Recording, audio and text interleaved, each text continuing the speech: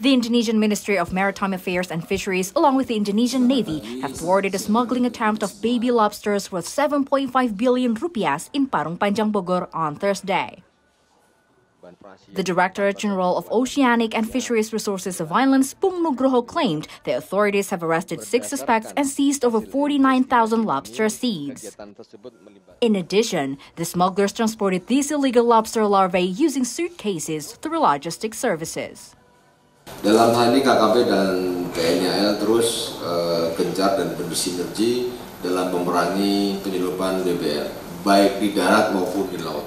Kami juga operasi di laut juga di Batam dengan teman-teman Angkatan Laut, karena Bapak Kasal sudah sering menyampaikan uh, kalau operasi yang di perbatasan kekuatan lagi siap.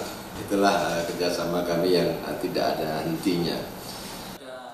Meanwhile, the Indonesian Navy's First Fleet Command Chief of Staff Rear Admiral Didong Rio Duta added that this crackdown demonstrates the Navy's commitment to collaborating with related ministry and other relevant agencies.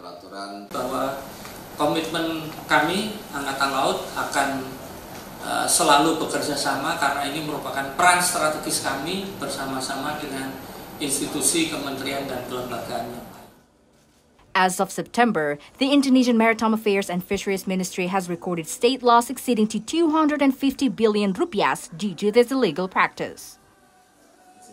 Furthermore, all suspects will be charged under fisheries laws with minimum sentences of 8 years in prison and maximum fine of 1.5 billion rupiahs.